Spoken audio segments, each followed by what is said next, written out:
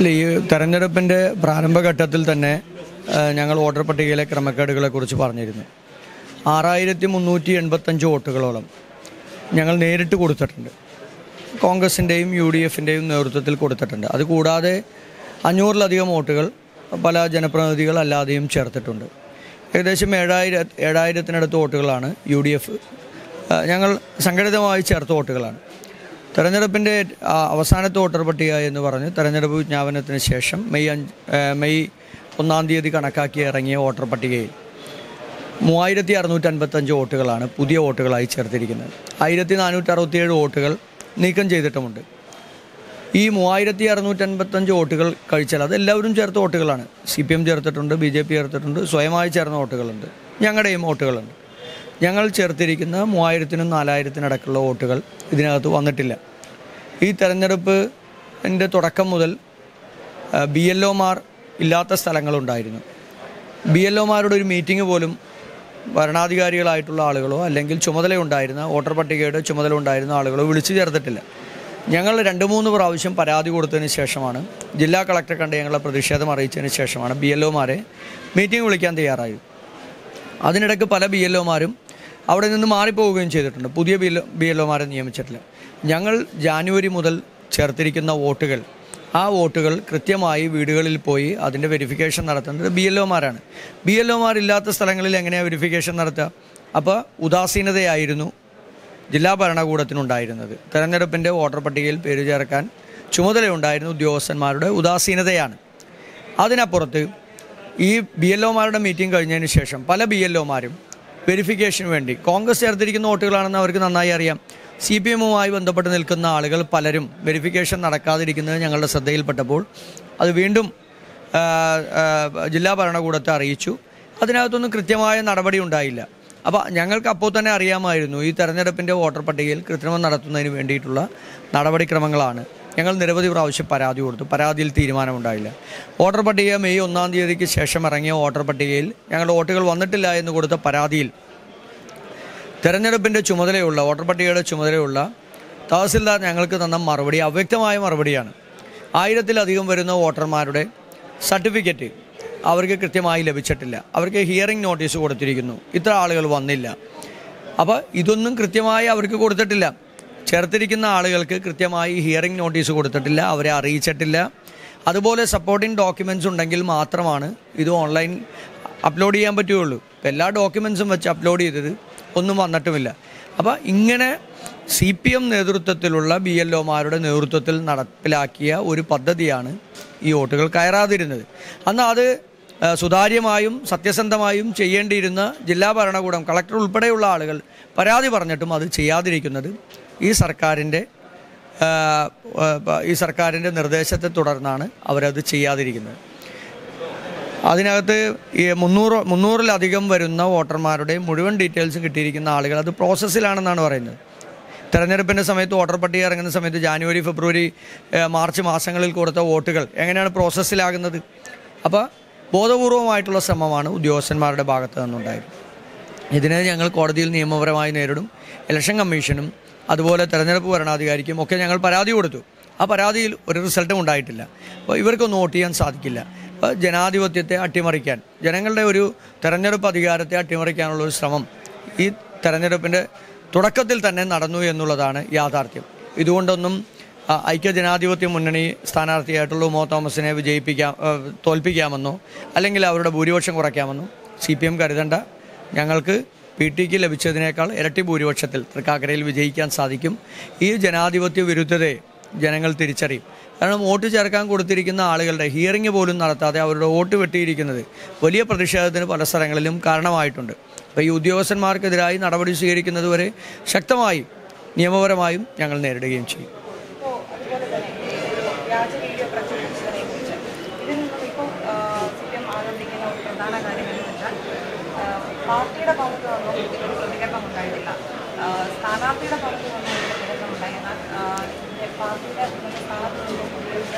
വന്നിട്ടില്ല എന്ന് പറയുന്നു അപ്പോൾ അതിനെക്കുറിച്ച് എന്താണ് അല്ല ഇത് ഇതുമായി ബന്ധപ്പെട്ട് ഞാൻ പത്രക്കാർ ഡി സി പ്രസിഡന്റ് എന്നുള്ള രീതിയിൽ ഞാൻ പത്രക്കാരെ കണ്ട് പ്രതിഷേധം അറിയിച്ചു.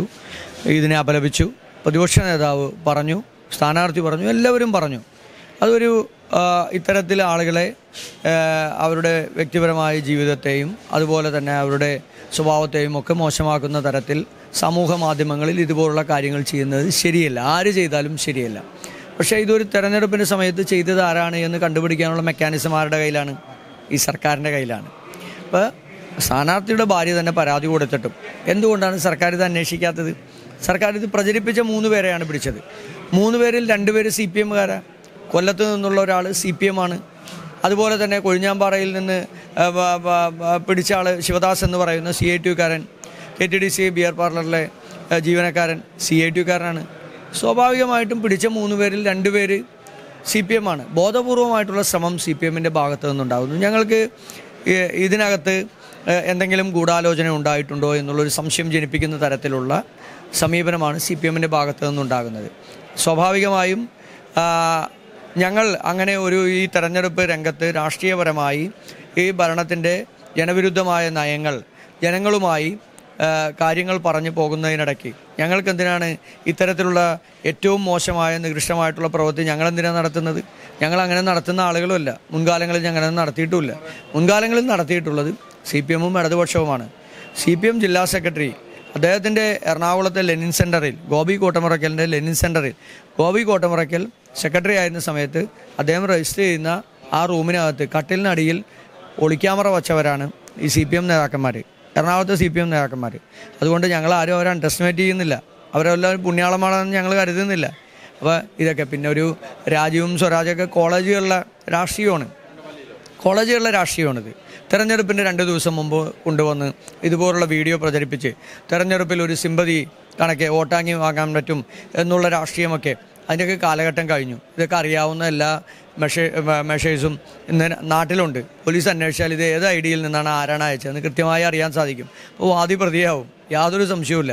അപ്പോൾ ഇതൊക്കെ ഒരു ഈ തെരഞ്ഞെടുപ്പിനെ ഗൗരവമല്ല അല്ലെങ്കിൽ തെരഞ്ഞെടുപ്പിനെ തോൽക്കുമെന്നുള്ള ഭയത്തിൽ എന്തെങ്കിലുമൊക്കെ പറഞ്ഞ് കാണിച്ച് ജനങ്ങളുടെ വോട്ട് അതിലൂടെ വാങ്ങിയെടുക്കാനുള്ള ഒരു ശ്രമത്തിന്റെ ഒരു തന്ത്രത്തിന്റെ ഭാഗമാണ് ഇതെല്ലാം ചെയ്യുന്നത്. ഇതൊക്കെ ഇന്നല്ലെങ്കിൽ നാളെ നമുക്ക് എല്ലാവർക്കും അറിയാൻ സാധിക്കും ഇത് ആരാ അയച്ചതെന്ന്.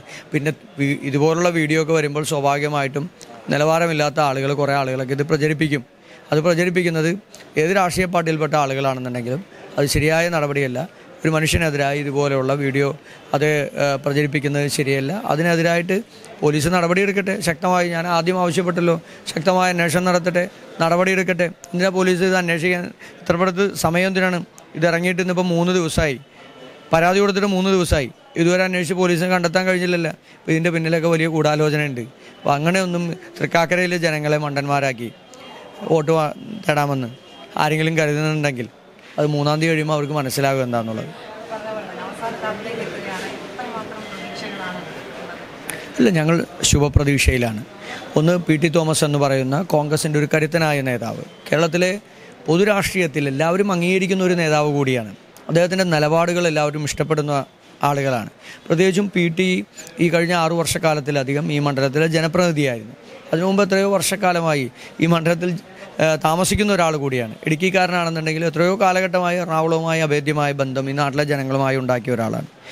പി ടിയുടെ വിയോഗത്തിന് ശേഷം നടക്കുന്ന ഒരു ഉപതെരഞ്ഞെടുപ്പ് എന്നുള്ള രീതിയിൽ ഞങ്ങൾ വൈകാരികമായാണ് ഇതിനെ കാണുന്നത്. പി ടിക്ക് ലഭിച്ചതിനേക്കാൾ ഇരട്ടി ഭൂരിപക്ഷത്തിലും ആ തോമസിനെ വിജയിപ്പിക്കാനുള്ള ശക്തമായ പ്രവർത്തനമാണ് ഞങ്ങൾ നടത്തുന്നത്. ജാനുവരി മാസം മുതൽ തെരഞ്ഞെടുപ്പിന്റെ മുന്നൊരുക്ക പ്രവർത്തനങ്ങൾ മുതൽ ഈ നിമിഷം വരെയുള്ള തെരഞ്ഞെടുപ്പിന്റെ പര്യടന പരിപാടികൾ ഉൾപ്പെടെ ഉള്ള കാര്യങ്ങളിൽ ശക്തമായി ഞങ്ങൾ സംഘടനാപരമായി ഒറ്റക്കെട്ടായി ഒരുമിച്ച് നിന്ന് ഞങ്ങളെല്ലാവരും മുന്നോട്ട് പോവുകയാണ്.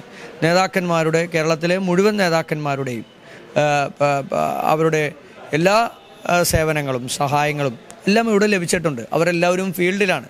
വീട് വീടാന്തരം കയറി ഇറങ്ങി ആളുകളെ നേരിട്ട് കണ്ട് അവരുമായി ബന്ധപ്പെട്ട് അവരുടെ അടുത്ത് രാഷ്ട്രീയപരമായിട്ടുള്ള അല്ലെങ്കിൽ ഇന്നത്തെ സമൂഹം അനുഭവിക്കുന്ന ബുദ്ധിമുട്ടുകൾ ഗവൺമെന്റിന്റെ ജനവിരുദ്ധമായിട്ടുള്ള നയങ്ങൾ എല്ലാം നേരിട്ട് കണ്ട് പറഞ്ഞു പോകുന്ന രീതിയിലാണ് ഈ തെരഞ്ഞെടുപ്പിന്റെ പ്രവർത്തനങ്ങൾ ഞങ്ങൾ ക്രമീകരിച്ചിരിക്കുന്നത്.